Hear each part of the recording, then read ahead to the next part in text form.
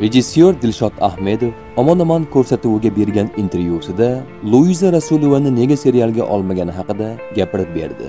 Bu nizo emas buni boshqa intervyuda ham aytganman.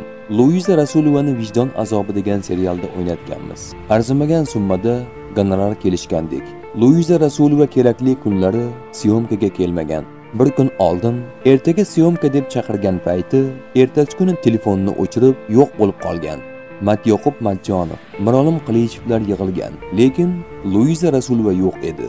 Juda qiyin ahvolga tushganmiz. Eng shirin joylarini suratga ololmay qolganmiz. O'shandan keyin unga kelishilgan gonorarni bermaymiz. Chunki ba'zi kunlari kelmaganing uchun jarima hisobida deb ora ochiq bo'lgan. Keyin fitna cho'qqiga chiqqan payt ko'rishdik ham. Meni fitnada o'ynating dedi. Bu narsaga yon atrofimdagilar guvoh. Men unga rol bermadim. Men uni olmaganimdan keyin o'ynamayman debdi. Olmaganimdan keyin o'ynamaydida u menga nisbatan cheklov qo'ymagan. Men unga ko'proq cheklov qo'yganman. Chunki o'zimni hurmat qilmasa ham yonimizdagi jamoani hurmat qilish kerak edi. Men ham uni olmayman. U ham menda o'ynamaydi. Bu normal holat deydi u.